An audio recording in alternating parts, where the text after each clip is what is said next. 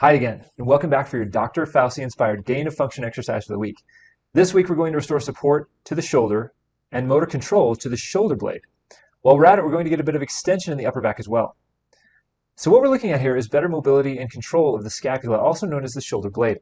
The scapula has direct attachments to both the rib cage and the spine, as well as the neck and the head. So loss of support and control here can affect the entire region. It can cause compensation in several areas and lead to all kinds of problems. So here's your scapular control exercise for better shoulder support and health. Begin by laying on your stomach while resting on your forearms in an overhead position.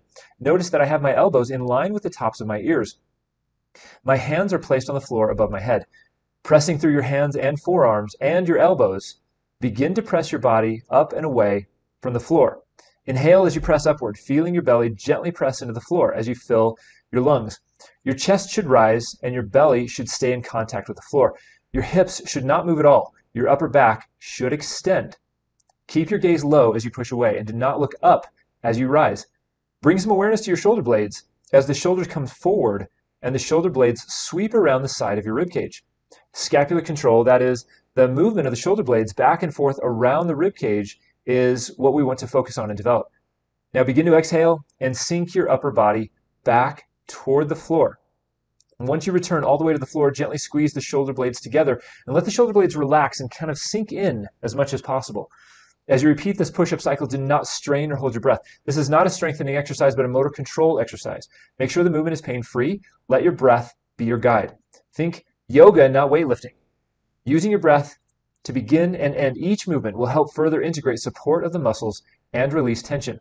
Inhale and press the chest away. Exhale as you sink back to the floor Squeeze the shoulder blades gently together at the bottom, then repeat. There's no need to hold any portion of this exercise. Keep moving and find a rhythm. This should be a relaxing exercise that is free of exertion and pain. Perform this exercise for about 15 repetitions and perform it twice a day.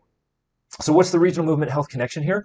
Many times shoulder pain develops because the shoulder blade loses the ability to support the shoulder movement, which can further be complicated when the upper back and rib cage becomes stiff and immobile. As a result, the shoulders can be overworked so restoring shoulder and regional mobility and regaining shoulder blade control and support is critical if you want to unload the shoulders and allow those tense shoulder muscles to begin to relax.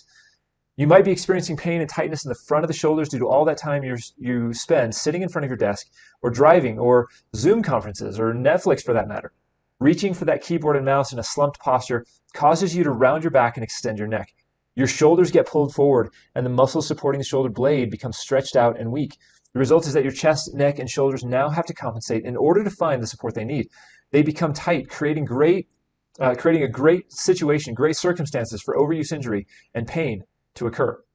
This is going to lead to early fatigue, pain, and possibly injury with any shoulder dominant activity, such as basketball, volleyball, swimming, or weightlifting. So what you can see here is that if your shoulders or upper back become stiff and painful for no apparent reason, there's a, this is a warning light telling you to take a closer look before you begin to experience a regional loss of function. And that loss of function can lead to movement compensation and eventually leads to injury. Again, keep in mind this exercise is just one piece of a larger recovery picture, and that by itself, this is not a long-term solution for significant shoulder, ribcage, and spinal dysfunction. So if you'd like to learn more about better movement and how your shoulder is related to spine, ribcage, and even neck pain, then your first step is to make sure you have an accurate diagnosis and a clear picture of how the entire region works together so that you can begin to experience gain of function as well. Click the schedule button. Let's make sure you're not wasting your time practicing exercises that may not help. Thanks for watching, and I'll see you again soon.